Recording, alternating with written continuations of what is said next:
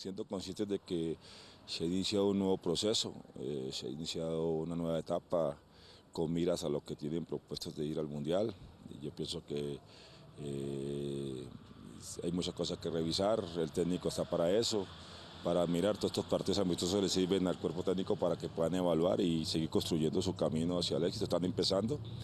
Lo que pasa es que el fútbol es eso, ¿no? El fútbol todo el mundo quiere que se gane siempre y, el fútbol a veces no es así, a veces hay que construir y tener bases sólidas para poder conseguir los objetivos y, y esto es normal y yo pienso que la gente tiene que ser consciente de que están en un proceso y que si Perú hizo una excelente campaña en el Mundial, pero están empezando un nuevo proceso y el hecho de que hayan perdido dos partidos no quiere decir que, que ya no funcionen las cosas. Eh, esto es fútbol y todos los días se levanta uno a trabajar y a mejorar.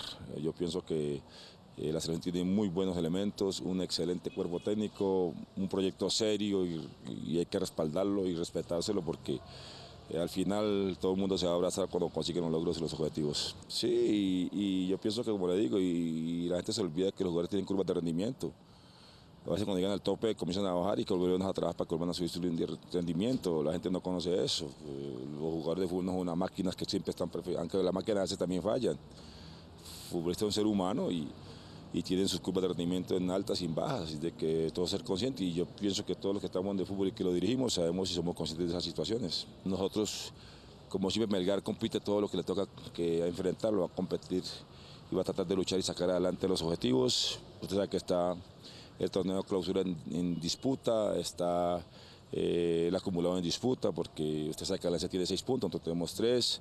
Si ellos hacen los seis puntos y, nosotros tres, ellos tienen un punto por las reservas, así de que todo eso está en juego, así de que, como tal Melga va a tratar de trabajar y, sacar adelante los, los objetivos que tenemos enfrente.